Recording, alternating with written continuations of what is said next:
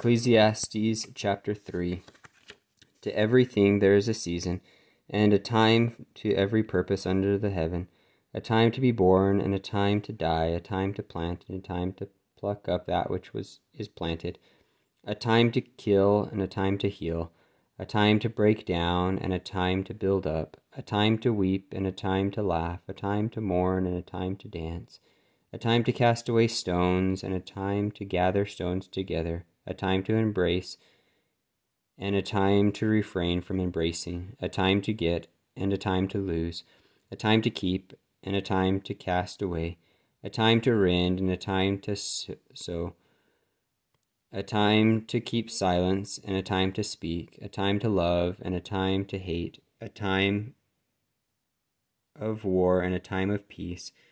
What profit hath he that worketh in that wherein he laboureth.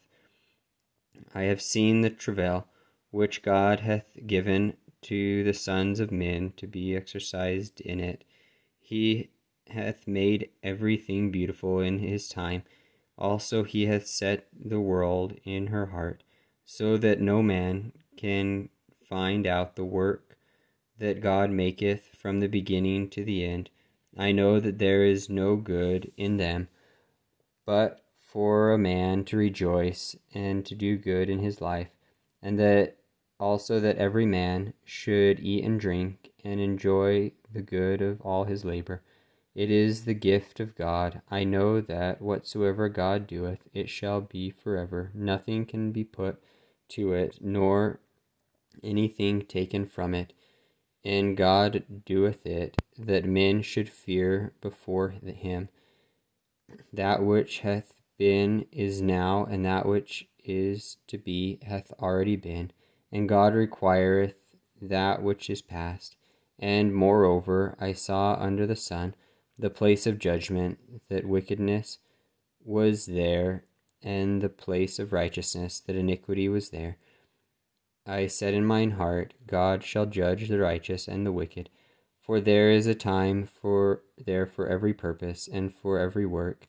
I said in mine heart concerning the estate of the sons of men, that God might manifest them, and that they might see that they themselves are beasts. For that which befalleth the sons of men befalleth beasts, even one thing befalleth them as the one dieth, so dieth the other. Yea, they have all one breath, so that a man hath no preeminence above the beast, for all is vanity. All go unto one place, all are of the dust, and all turn to dust again. Who knoweth the spirit of man that goeth upward, and the spirit of the beast that goeth downward to the earth? Wherefore I perceive that there is nothing better than that a man should rejoice in his own works, for that is his portion. For who shall bring him to see what shall be after him?